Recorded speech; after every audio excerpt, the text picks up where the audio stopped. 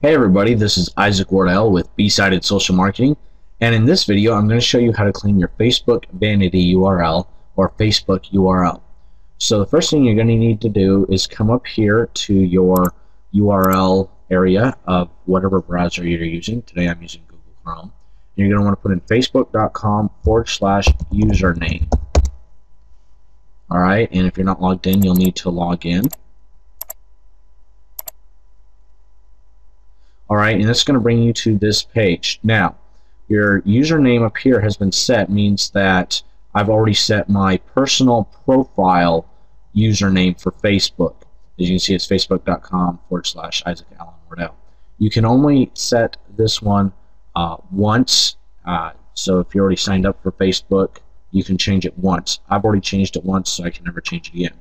An important note on a page which is how I'm going to show you how to uh, claim a vanity URL for, is that you can only select the page URL once. So you want to be very careful how you uh, choose to select what name you use, etc., because you're going to be stuck with it forever, uh, so to speak. Also, note on this uh, page selecting the URL, you can only select pages and change the names if they have 25 or more likes. So this one, B-Side El Dorado is not eligible for username at this time because it has not had 25 likes on the page. So I'm going to go to a page that does have 25 likes that we have not yet claimed the vanity URL for.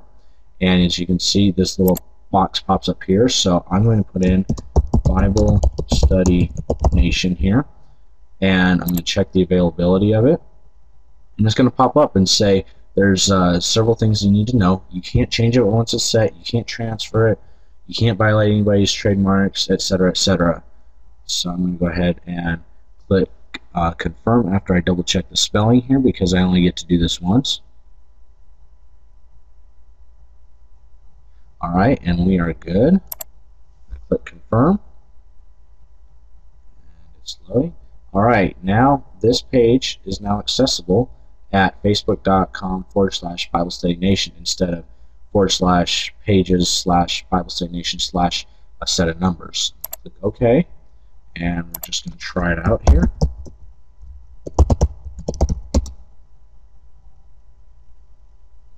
And bingo, it loads just like that. And that's how easy it is to claim your Facebook vanity URL.